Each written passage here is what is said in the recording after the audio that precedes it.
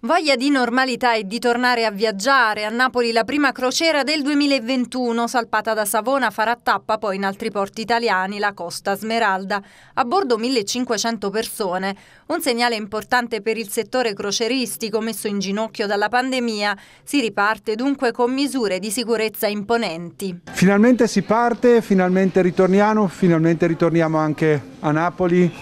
Sempre una grande emozione. Questa nave è una nave che offre il meglio di quello che l'Italia può fare, offre design, offre intrattenimento, il tutto in sicurezza grazie ai nostri protocolli, protocolli sanitari che partono dall'imbarco con tamponi, misurazione della temperatura, proseguono a bordo attraverso sanitizzazione e distanziamento sociale. Intanto il desiderio di ricominciare a vivere preoccupa i cittadini che denunciano caos, assembramenti e pochi controlli da parte delle forze dell'ordine.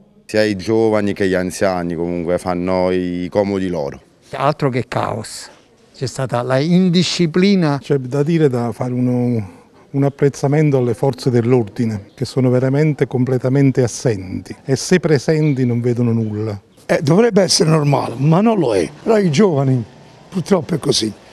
Speriamo che vada tutto bene. Sono stata a casa e evito per adesso. Facciamo casa lavoro, lavoro casa.